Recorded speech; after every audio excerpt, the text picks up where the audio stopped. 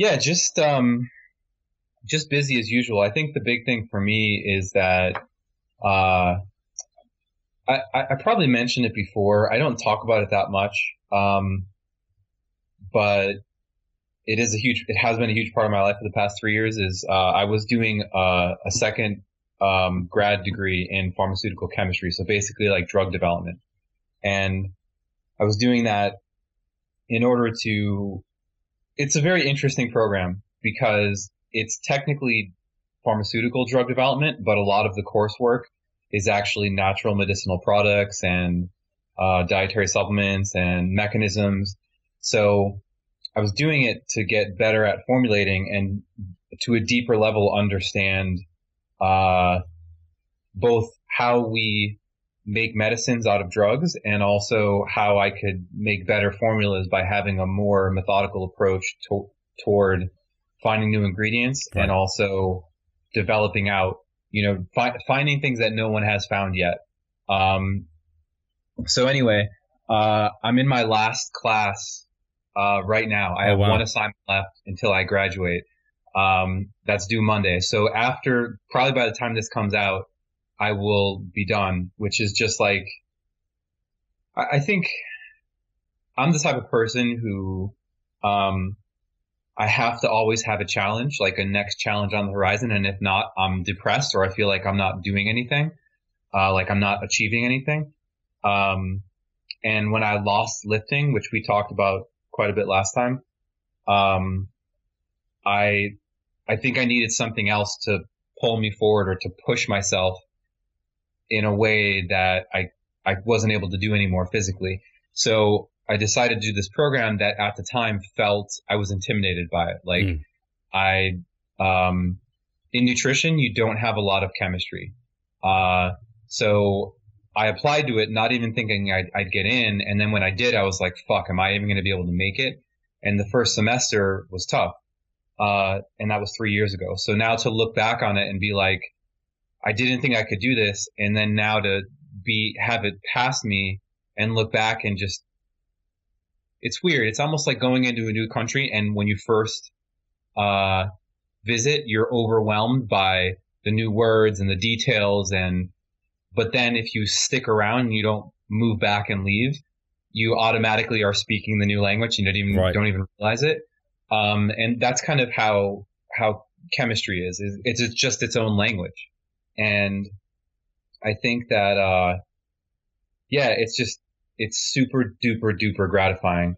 Um, and I look forward to having a little bit of that mental space back again. Um, because the company, the coaching and grad school was like pulling you every way. Yeah. Yeah. I felt like a tidal wave was crashing me down every day. I can absolutely see that. That's really tough.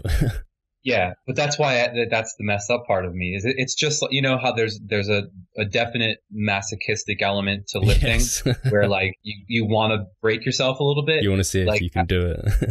yeah, I think I needed to still satisfy that, and since I couldn't so much in the gym, like I still lift, and but uh, that's what I loved so much about powerlifting training is, uh, it felt more of a psychological challenge than bodybuilding training did to me. And I think I got addicted to that. And then when I lost that aspect training wise because I couldn't do, I couldn't train like that anymore, I needed to fill that void somehow. Mm. It's like school became that, which is weird, but I think we can keep that. This can kick off the podcast. I think it's a good uh, chat. Sure. And and actually, it what is there anything you're kind of what's next? Do you have something already in mind of what's next? I imagine you have something.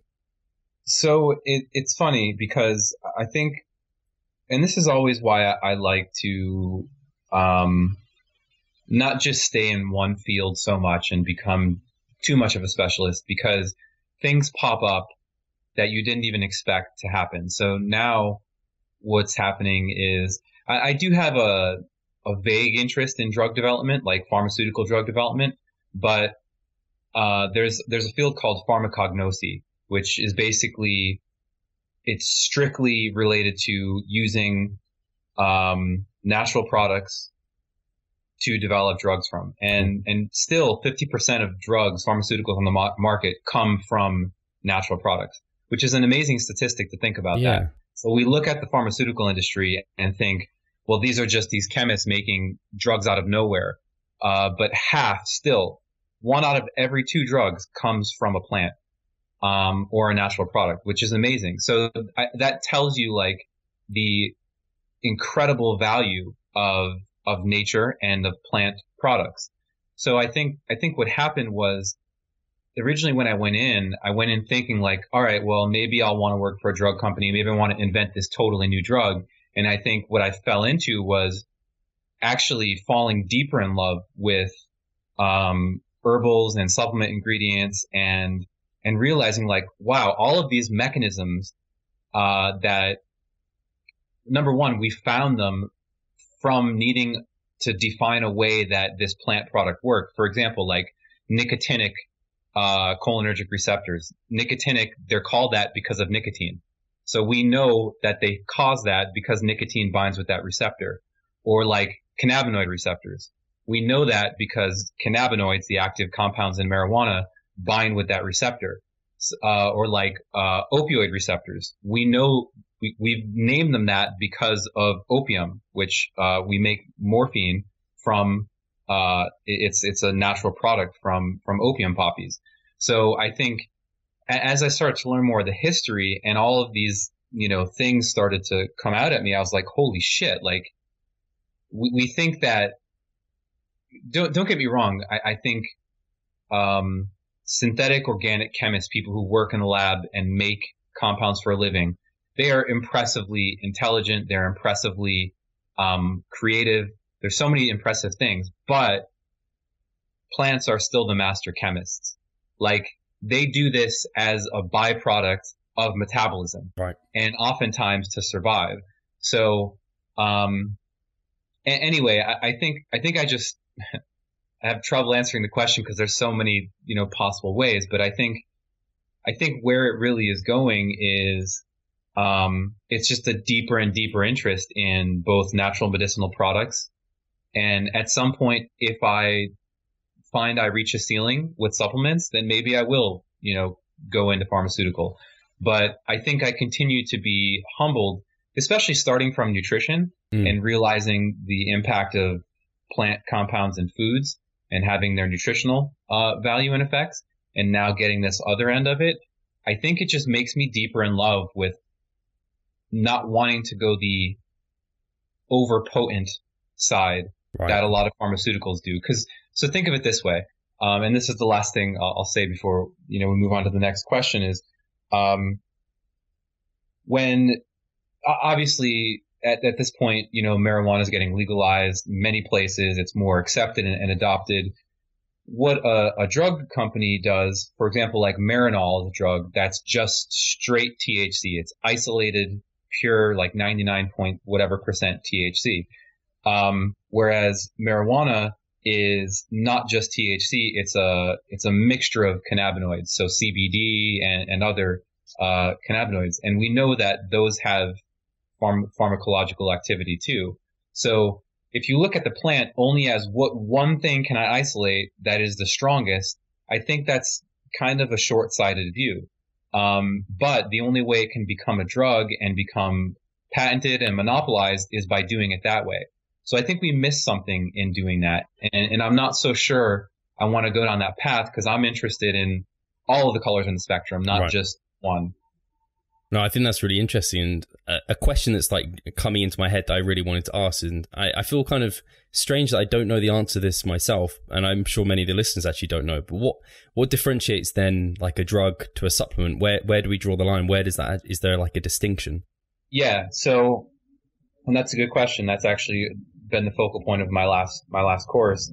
Uh, so basically the line, there is some gray, but the line is a supplement has to be part of the food supply. Um, so if it's not, that automatically makes it fall into a drug. Uh, and then you have these weird gray area things that have drug compounds. For example, like red red yeast rice has a statin in it. Uh, statins are drugs. The reason that you can sell red yeast rice um, and it's not classified as a drug is because it's not isolated. It's not the one statin that's isolated. Um, so if you took out that one statin and you purified it and it was just that, now it's a drug. If you're doing it in red yeast rice with it, which is the the full spectrum of everything that's you know grown from the I believe it's a fungus actually um, that grows on red on, on yeast uh, or rice yeast, um, then it's then it's still a supplement. Uh, so that's that's the same kind of concept where, uh, and see that's why CBD is gray area. Okay. Because right now, um, it doesn't quite it fits more the classification of drug, and it's probably gonna get classified. I I've actually been reading more and seeing that they're moving closer towards it being classified as a drug. So it'll be interesting to see how that gets upended soon. Uh, do you know? I mean, because CBD has been one of those ones. It kind of came in as a bit of a like. I guess it's it's almost been a little bit of a fad because it came in like every single fitfluencer, um, if that's the term, um, were like sharing it and they had affiliate codes. And even I'd been offered. I think people had offered uh, Revive Stronger as a brand because we had an article reviewing CBD and they offered us stuff so they could advertise and yep. um, and then it's kind of disappeared a little bit. Uh, what, have you looked into the research there? What are your? Do you think there's applications for it particularly, or? Yeah, it seems like the strongest role is uh, as an anxiolytic, so like an anti-anxiety um, compound, um, and but it's not it's not uh, psychoactive, so it doesn't cause the same like time uh, distortion and things that are pretty classical of, of THC. Um, but it does influence neurotransmitters. Uh, so it, it does have an impact, but I, they still haven't defined the mechanism exactly of CBD. That's part of the problem. Um, and I do think once that's more clearly defined, that it's probably going to move closer towards being scheduled or classified as a, as a drug. Uh, but yeah, I think it's very intriguing. Um, and of course, I think once the supplement industry gets hold of an ingredient like that, um, and they find that they can, it might not be the best word, but exploit it. Yeah. While there's time to, I, I think that's what's happened. Um, so I do think something's there. I think there's a lot more questions than answers, but I, I do think the absolute most, both notable effect anecdotally from people using it and, uh, mechanistically seems to be the anti-anxiety uh, component. So it's probably something with with GABA, which is a neurotransmitter. Um, and I, I think there was something with uh, serotonin and dopamine as well, but uh, I'd have to go back and look into that too. It was a little bit ago when I when I was looking at CBD mechanism, but it's fascinating. Yeah, it's always when I see a new supplement come out, I'm always I, I tend to be on the side of let the new kind of uh, I don't know what the word is. Let people take that on, see if they get anything yeah. from it. Let more research yeah. come out, and maybe then use it later. Is that how you tend to view things as well, or I guess you're excited by supplements more than a lot of people? yeah, that, that's no, that's that's a that's a really good question because I think um, the answer is difficult because I, I'm on both sides. Whereas I think if I was the consumer, my answer would be wait and see if it hangs around and survives. So a great example of that is like mm, five years ago, every other form of creatine rather than monohydrate was popular and it was being pitched as the new creatine, the new more effective version of it. And look, look at which one has survived monohydrate. Um, which is ironic because we, we've known that monohydrate was the best and was the most, was an effective form beyond needing to make new versions in the 1920s. Uh, so yeah, I, I, think the interesting thing is there's this marketing hype, and, and there is a danger in being educated on marketing, um, or letting marketing be your only entry in to something. Um, so I do think people should should be skeptical to start. Absolutely. Uh, so that's my answer from the consumer end: is people should always start off skeptical uh, and ask a lot of questions and ask what ways that they've shown this and can prove this, or, or through what mechanisms or what research. Uh, for me, on the end of product R and D, though, I'm trying to be ahead of that curve. Yeah. Because if I'm ahead of that curve, I'm ahead of not just the consumer, but also the other companies who are chasing that. So the way I'm looking at ingredients and products is going to be different is I'm looking mechanism first, not user feedback first. So not like, what did you feel from this? What did everybody else say in the gym of this? I need to find the mechanism first, then try it, then create that anecdotal, uh, a reason to, to try it and then get the anecdote in myself and see, okay, does my subjective experience complement what the mechanism is? Can I feel what it says should be happening? And then I'll go and share it with a few, a small group of people and see if it's, um, that same feeling is universal. And then I know I'm onto something. Um, so it's, it, it's basically I'm using, uh, the principles of drug development, but in there's a there's a term bioassaying, which basically means I'm using my body as my analytical tool, right. as my lab tool, um, because I don't have available to me all of the technologies that a drug company uh, does. And I think the bigger part is ultimately my endpoint is making a supplement that someone's going to feel, right? So if I can prove it in uh, in a, a petri dish or something, but it has no subjective effect, the likelihood that that's going to be well adopted as a supplement is so low. So um, I, I, think it, it, works well for the industry I'm in. Where if I was in a drug, uh, a pharmaceutical company, uh, a lot more of those robust computer modeling things would probably be more appropriate. Whereas for me, I, I guess I fit better in supplements right now. Have you got any examples where you've you've done that, where you have been ahead of the curve, or? Um, yeah. So I, I think our most popular product, Utopia, is, is that example. Awesome. Um, so if you look back, and it's it would be hard for people to do um, unless they were supplement consumers around that time.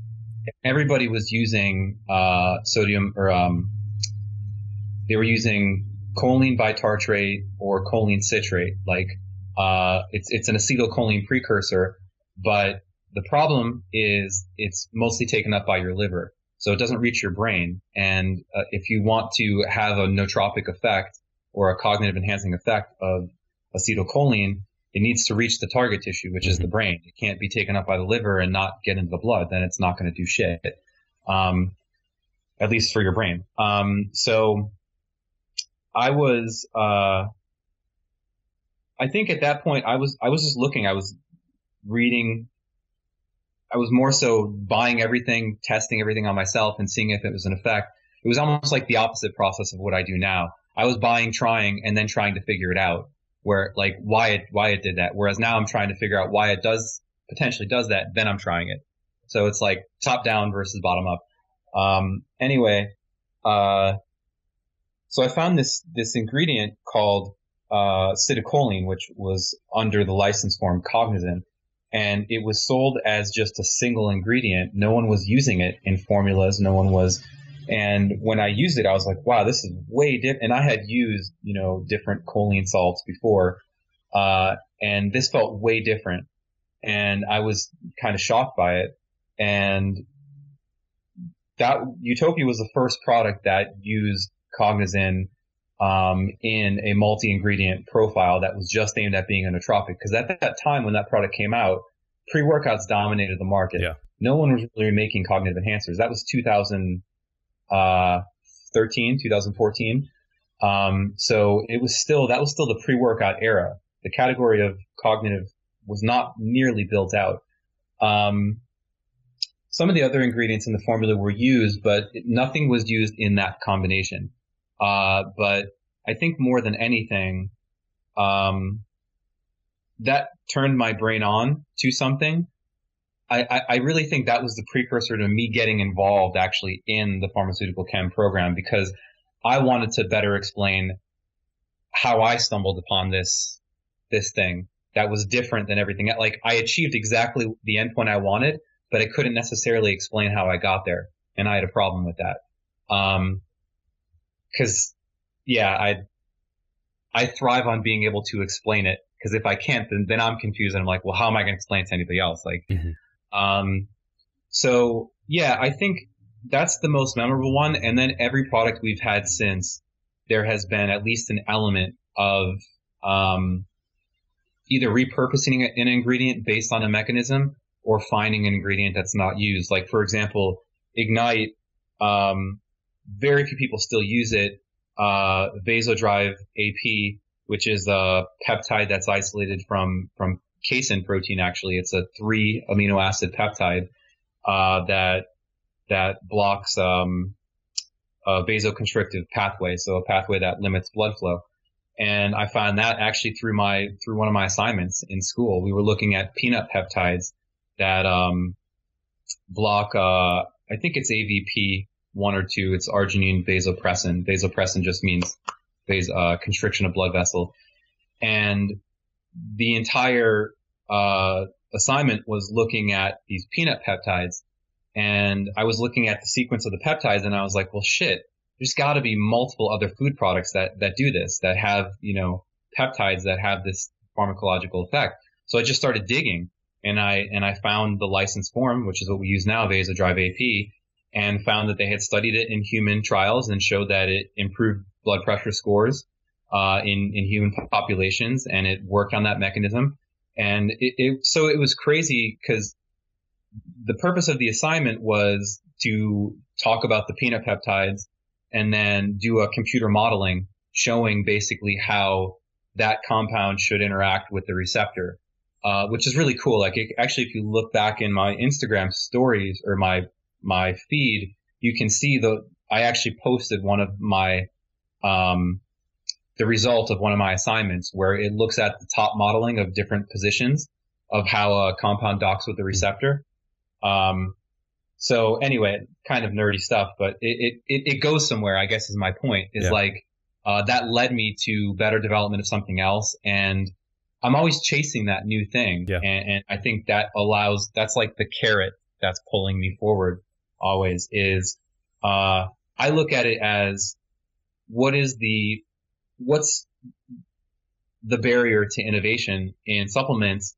And I, I think it's either knowledge or creativity. I don't, I don't think supplements are dead. I refuse to believe that. So I think they can keep scheduling or, uh, banning compounds like like 1,3-dimethyl or DMAA.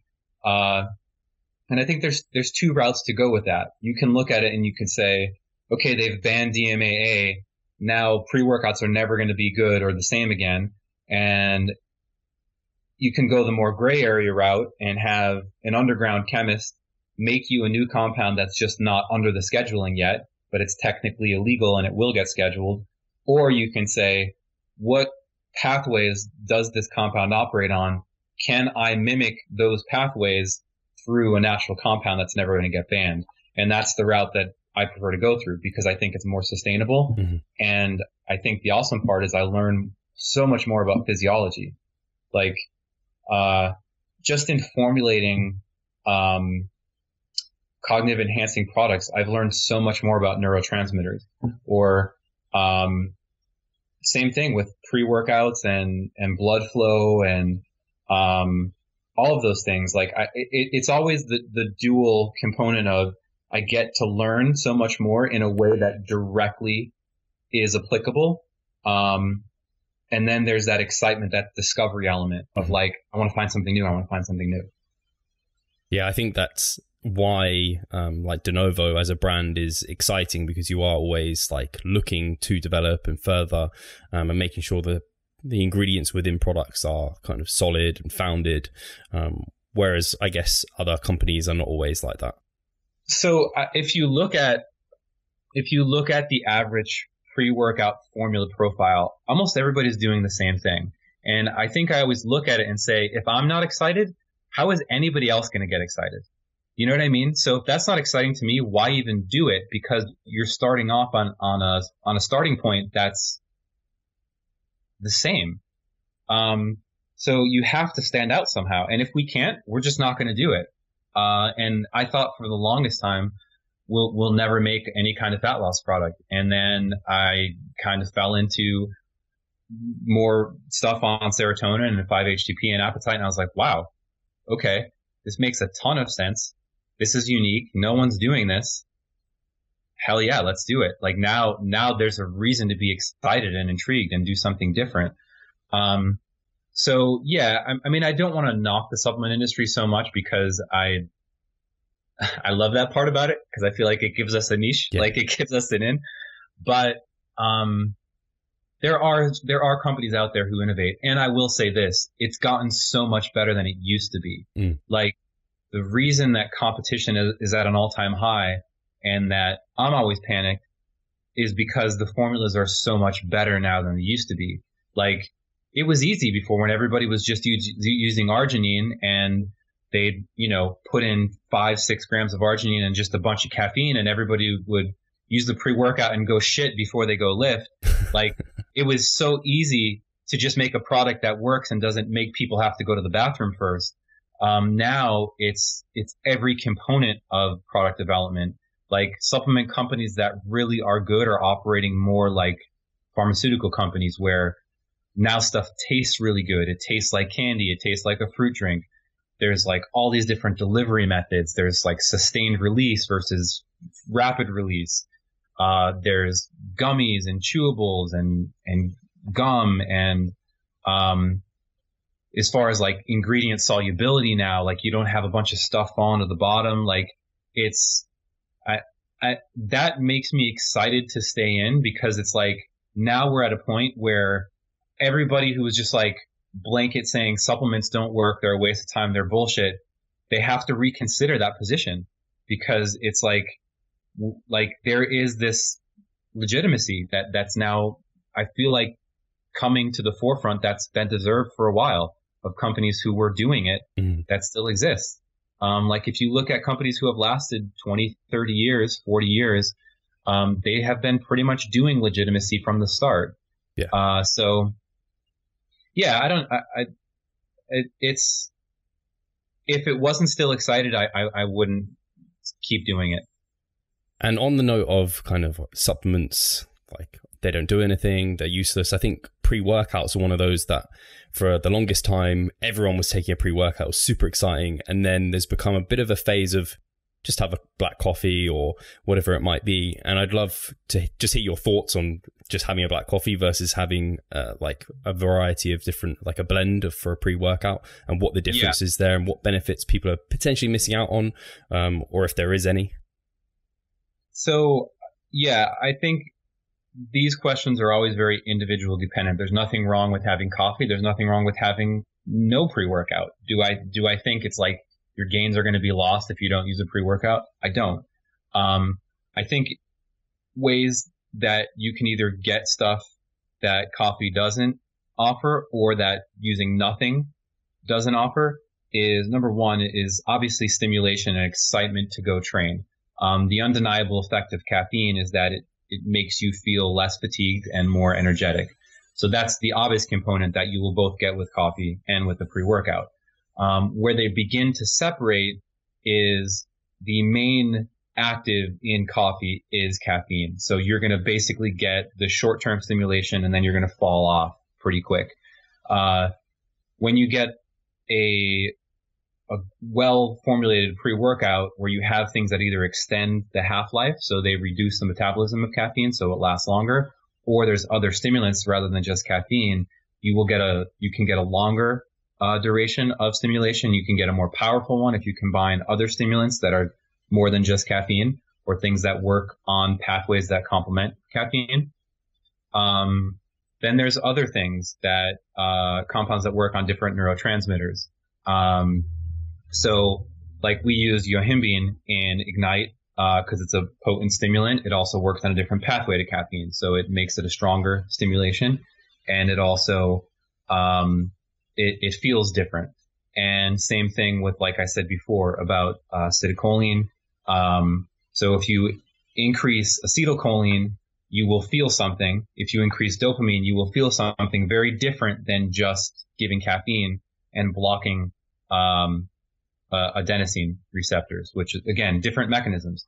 So um, when you look at ingredients and supplementation as mechanisms, not just feels, you can start to really separate out controlling different things. Um, and then I think there, so that's really looking at it only from a stimulation perspective. Mm. Then you have things like endurance. Um, so ingredients like citrulline, obviously the tried and true creatine, like you're not going to get that in coffee. You can drop it into your coffee, sure. It'll dissolve better because it's hot fluid. Um, but, uh, so you, you'll get advantages like those. And then just kind of the superficial things like, like a pump, like blood flow. Um, so I, I think the main thing is really if you find that coffee isn't enough or you want something more than coffee, that's when it's worthwhile to look into pre-workouts. Um, again, I, I don't look at it as black and white as you have to or you're missing something or you're you're never going to reach your goals if you're not using pre-workout supplements. That's not true. Um, it just really comes down to uh, do you really love the thing you're doing and does it do what you want it to? Stick with it for sure. Um, if you're looking for something more or something to help you get through harder training things or feel a little different, then that's where I think supplements kind of come mm-hmm. in more.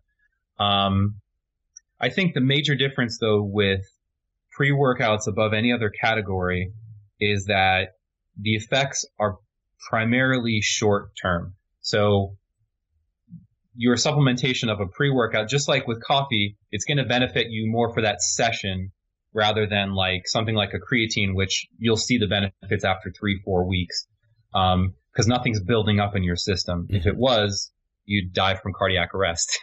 uh, so yeah, um, I think that's the, that's, of course you can kind of really go down to the nitty gritty of every single ingredient, but I think stimulant based formulas will always be for short term, um, goals whereas uh, things like protein and things like creatine are definitely more long term mm-hmm. accrued goal things. Cool, yeah, and I think um, something I've often heard, at least, and I, I, guess this is something you alluded to a little bit, and I, I don't know if companies on like the large scale are thinking about it much, but it's like a lot of people talk about that crash after taking a pre workout. Yeah. And you kind of talked about that with coffee potentially because it's just the caffeine. You might get that crash. Uh, are, are, many companies really considering that? I know that's something you heavily consider kind of the dosing and the time response and the complete product. Um, I think, I think it, it depends. I think some companies are, yes, but I think the majority of what I see, they're looking at it from a business approach because people are looking for this. So they market towards it rather than actually trying to address it uh, pharmacologically. Um, so I think that's really where companies can separate is like, is it just a business or is it a scientific endeavor that also functions as a business? Um, so I, I, do see more people talking about, you know, no crash, uh, anti crash, and, and kind of notoriously, we've recently had a conversation uh, with one of the products in, in the gamer market, in a non uh, fitness market, uh, with another company who was claiming that their vitamin uh, complex prevents crash which is ridiculous. That's 100% marketing hype. There is absolutely nothing to back up that a large dose of vitamins prevents crash from caffeine. So, um, I think that sort of addresses it is like, I think a lot of companies talk about doing it mm-hmm. because they want to make the claim and get the people to buy in. But how much are they really investing in doing it, uh, in backing up what they say? Mm-hmm. Um, and yeah, I mean, I think that that's a, that's a big that's a big part of it for us. For me too, is like I'm I'm making a product as a consumer. I'm yeah. making it so I don't have to go buy other products. You know what I mean? So if, if I feel like we can't back that up and I don't even want to use it, then why the fuck are we going to scale it up and make it on a large scale? Yeah. You know? I completely see that. Um, and are there any, when a consumer's looking at a pre workout, is there any kind of telltale signs of one that maybe is just like they're heavily just relying on marketing and they're not really thinking through the formula. And any like when you're looking at them as any, you're just like this is just obviously kind of it's got an ingredient or maybe proprietary blends. I don't know if they particularly exist anymore. Yeah, so they still do. Um, I think I think the first thing that uh, any customer should always do is learn to educate themselves on on labels, even just the basics of labels. And you know what really sucks is there's not great educational resources out there for supplements. There's not there's no programs that just deal with dietary supplements. Um, I think so let's start with two great places that I still use all the time. Um, examine.com is excellent to read the label, see what ingredients are in there, look them up on Examine, see if they actually have data to back them up. Uh, another one is Consumer Lab. There is a paywall for that to get the encyclopedia articles, but it's totally worth it. They also uh, pick random supplements off shelves and test them to see if they their claims match out. Um, so that's a, an awesome website. Um, if people are more interested in mechanistic stuff, Drug Bank CA is drugbank.ca is great. It talks about all the different mechanisms of not just supplement ingredients, but um, uh, pharmaceutical compounds. Uh, so if they want to educate themselves better, even if they're taking, you know, pharmaceuticals, I think that's a great starting point. I use that a lot for my coursework um, and for my own research. Uh, chemicalize.org is another great one. That's they're progressively getting more nerdy as I talk about them. Um, There's a um, lot. So There's more than I thought. uh, Chemicalize is excellent because you can look at the properties of a drug. You can predict its solubility.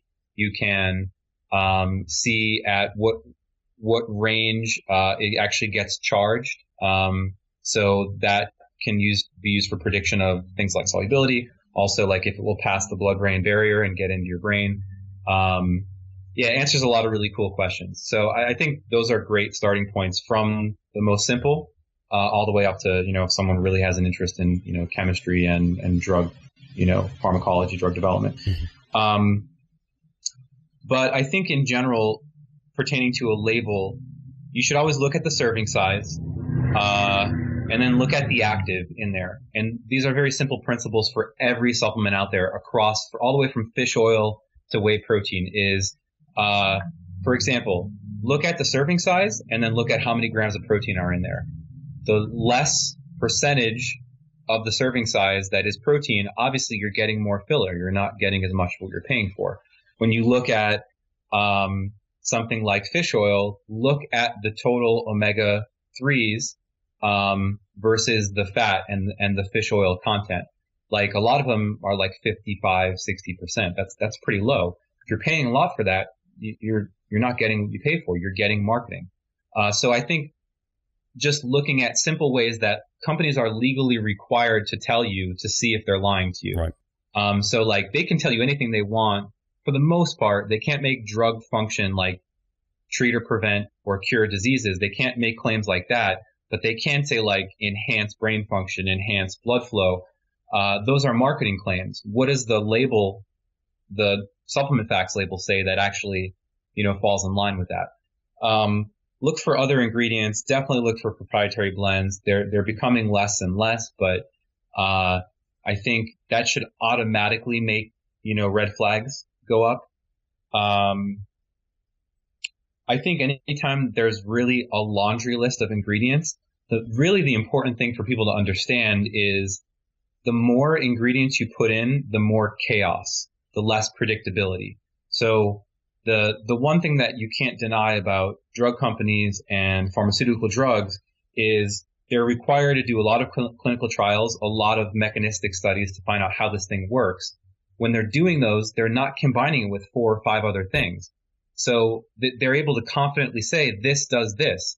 When you put in a, a strong stimulant in a pre-workout and then you put in 40 other things, even if they're underdosed, there's an element of unpredictability in that where you don't know if they're putting in a compound that detracts from that effect. You don't know if they're putting in something that enhances it. A lot of times you see people putting in like piperine just across the board in every supplement to enhance uh, absorption and bioavailability. That's not always a good thing. Mm. Like you don't necessarily want to increase absorption of a strong stimulant a thousand percent.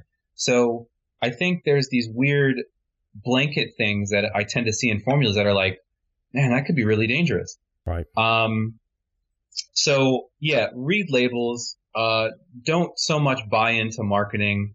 Look at the places that are legally required to tell you, uh, which is the supplement facts panel, the ingredients and the other ingredients. And then I think the last part that I see all the time because of course, big data is the thing. You can't run away from it.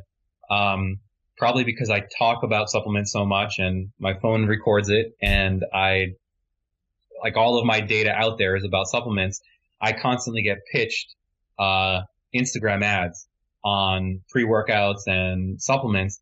So I click on them and I look at the formula and it blows my mind how many websites do not even show you the supplement facts panel. Wow. Or like you have to click through like four or five pages to see what the formula is. Like that scares the shit out of me. Mm. It seriously blows my mind.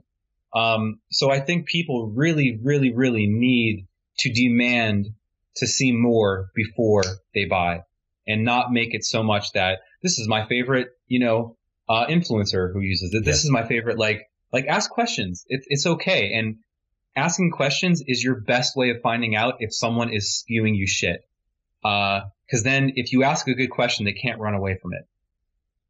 And, and that, that, that answers your question within the question is like, should I give this person my money? Yeah.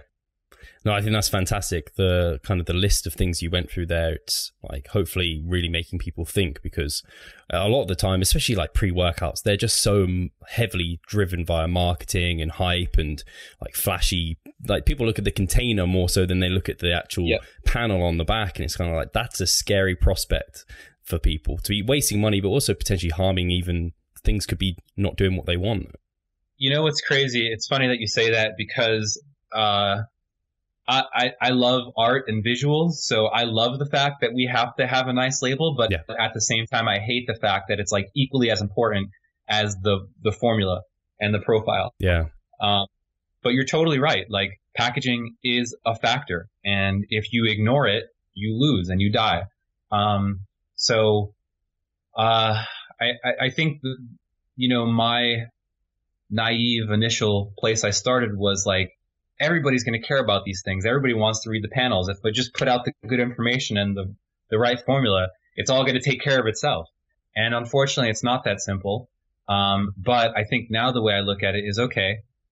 So we have to be at least as good or close to as good on all those other things like the packaging and the marketing.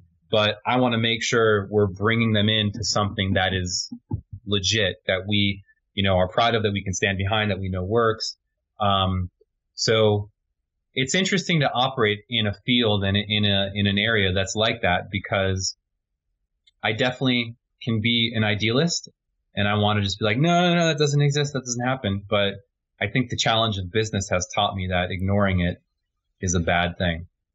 I think this this is going to be this could potentially be a really interesting chat because I think it's something even like ourselves and I'm sure you've had to deal with outside of supplementation is that like science is kind of getting a bit sexier, but like evidence based practice, uh, it's not always like looked upon as particularly like I don't know. You don't see many evidence based practitioners having like hundreds of thousands. Like Bret Contreras is kind of like the reason right. he's got a million followers is because he puts pictures of people's ass up all the time. Yep. So yep there's kind of a we don't like to think that we need to do that, but maybe we need a little bit more of that kind of sex selling element in our kind of what we need to do to get that information across to people.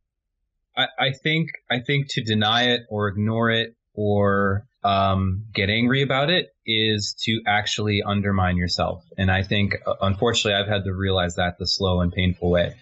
Um, but I, I, think that's what uh, sort of grace is is having a balance of of both. You can't be too far on one end. Yeah. Um, again, like I said before, is if we were a company that was just hyperbole marketing, I wouldn't want to be part of it. Like that would ruin it for me.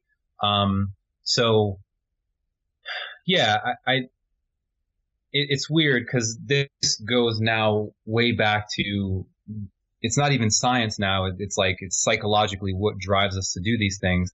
And I think if you're finding that the reasoning behind building a company or something like that is just the attention and social element, I'm not necessarily not necessarily saying that's bad, but you probably shouldn't be in a science field doing it if that's your driver, uh, because you're ultimately not going to help people. You're going to help you, and people are going to end up getting confused and worse off than they started. And, and I think, I don't know, I think there's a danger in it. So I, I want to be careful with how I explain it because good and bad is, is a, I, I've gotten an interesting view of good and bad over the years of, of being in business. And And um, I think that I think ultimately you can't forget why you started, how you started, and your internal values, and those need to guide you.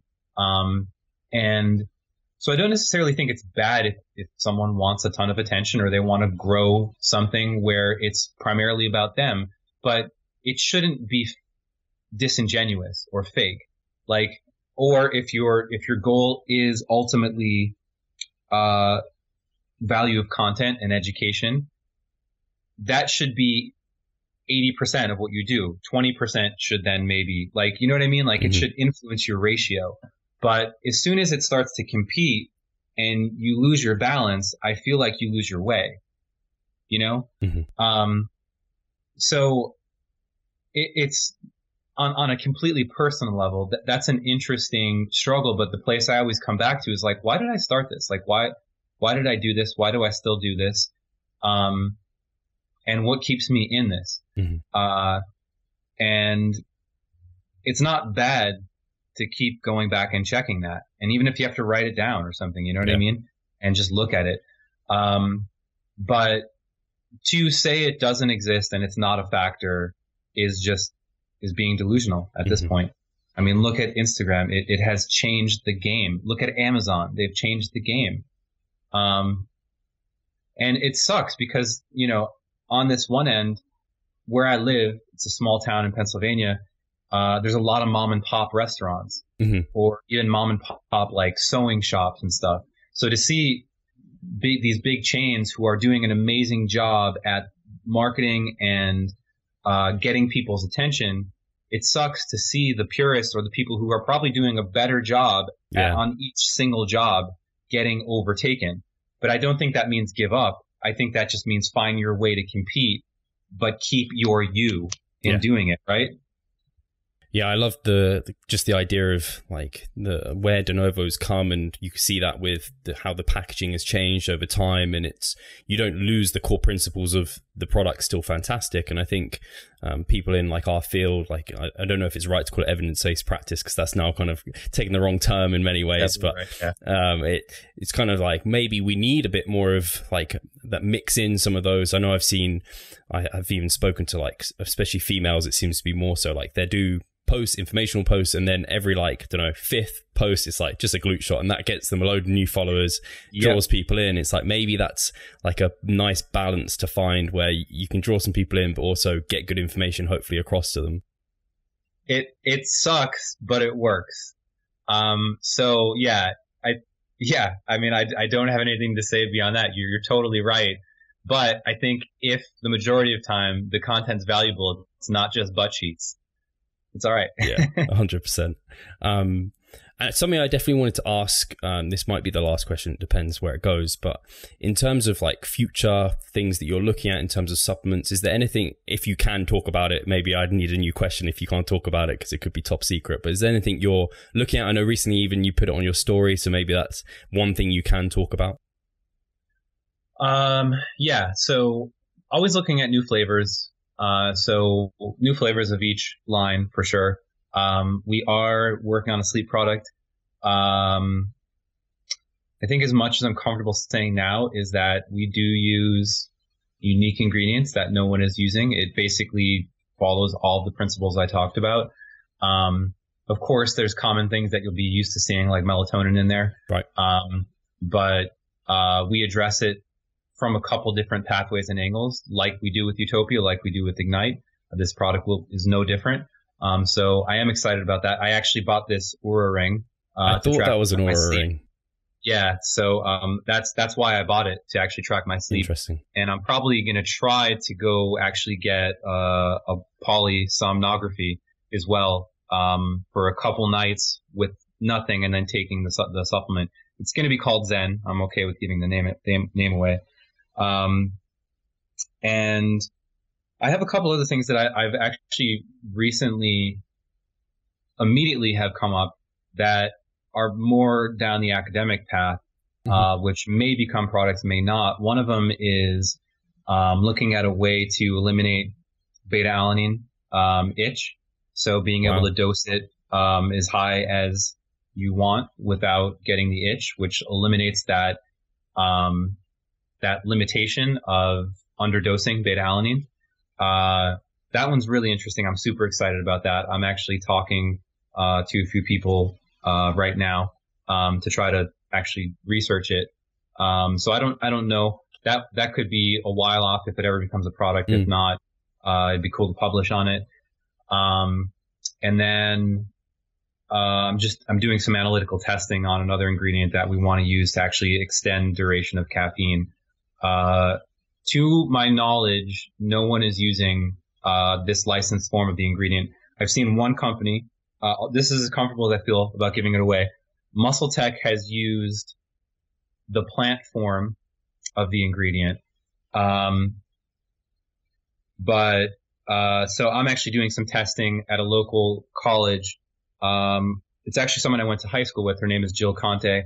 Uh, she, the school is Keystone College. They're a small, you know, college near me, and they just got a GCMS. It's a gas chromat, uh, gas chromatograph mass spec. Basically, it's an analytical instrument where you could feed in a sample, and not only can you see uh, what compounds are in there, but you could also quantify them, so you could see how much. Um, so it's like one of the best analytical tests. Um, and I'm trying to actually ensure that the standardization they're claiming uh, is actually there, uh, doing it ourselves independently. And if it is, then we'll probably be using that in the product too. Um, hoping that that doesn't come out before I finish testing. Uh, but again, these are things that I don't so much worry about because at least we have that extra layer of validation um, before it just goes out mm-hmm. arbitrarily to the market and people are like, marketing, marketing, marketing. Oh, does that actually work or not? and it's really i don't know if it makes me really interested to think like especially for like performance and physique based things like we have like the fat loss supplements or at least we have the suppressant um, at the moment that you guys are doing and we're pre-workouts now we have like sleep supplements. Is there any areas that you kind of are wishing there was a supplement that could help with that? I don't know if it's like recovery um, obviously sleep's part of that or um, i guess um, I think I think the way this whole journey started for me was actually with um, muscle growth, and I don't think since, of course, I mean I started off as a bodybuilder. Like that's that's an interesting endpoint for any bodybuilder, um, any fitness person really. Uh, so I think that never has totally left. Um, I think driving changes in body comp are very interesting. I, I think doing it through just one compound, especially for fat loss, is extremely difficult in terms of burning fat. I think the way I can't imagine we will find a better way than what we currently do, which is reducing appetite because the the the issue you always collide with with reducing fat mass um, by giving a compound is making someone hyperthermic and actually melting them like like uh and killing them because of body temperature rising too much. Um, maybe I just don't know enough about the physiology of it, but as of right now, that that's the major limitation in fat loss um, via just taking ingesting a product. Um, I think for muscle mass, I'll never stop looking. I'm really interested, uh, especially with the advent of you know uh, of SARMs, of you know next generation aromatase inhibitors. Not that we're going to go down that line at, for, as de novo, but I think um, anytime that a new drug comes out, usually they've done it by finding a unique way that some structural modification on the compound interacts with the receptor.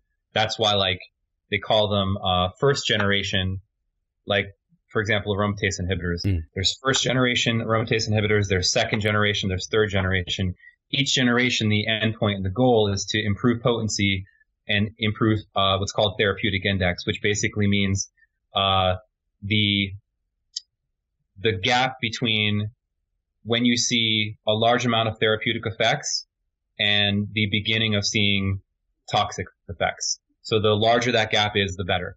Um, so they're always trying to aim for that in, in drug development. Um, so anyway, using stuff like that, data like that, or compound information like that to find either natural products that do something similar or maybe a combination of natural products that might do something similar. I just think, and this isn't being defeatist, I just think that will always be difficult because there's so much more money to make in a pharmaceutical company finding it, patenting it, developing it, blowing it out than one dude uh, versus a team of a pharmaceutical industry who has billions and billions of dollars. Uh, but it's still very interesting to me.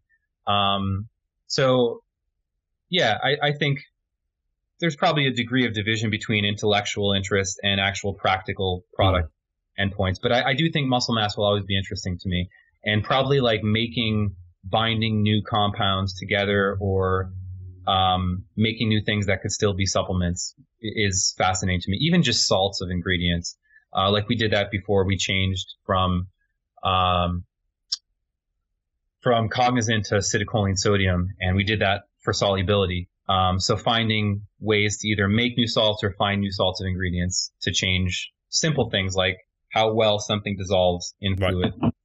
Uh, long-winded answer, but I think that's really everything where my head's at right now. Uh, just one that's come into my head of in terms of like uh, muscle mass and things like this, and I know they're on the market at the moment, and um, I don't know if you've got much of an opinion on it, but like glucose disposal agents, um, that's one that is out there at the moment. Do you, how how are you looking at that? Um, so I I think they're they're interesting. I think uh, you there's always some type of inherent drawback in something like that. One of them being usually those are not selective glucose disposal agents, so uh, they will help muscle uptake, uh, but that means they'll also help fat uptake glucose because uh, things like GLUT4 aren't just on GLUT4 is like the primary glucose disposal agent in, in muscle, but it's also on fat cells on adipocytes too. So if you in, improve um, glucose sensitivity in tissues via glucose transporters, it's usually non-selective. Um, and I don't see any way that it ever could be selective to just muscle. And even then, if it is, um, there is a saturation point. It's just like saying, let's invent a new creatine.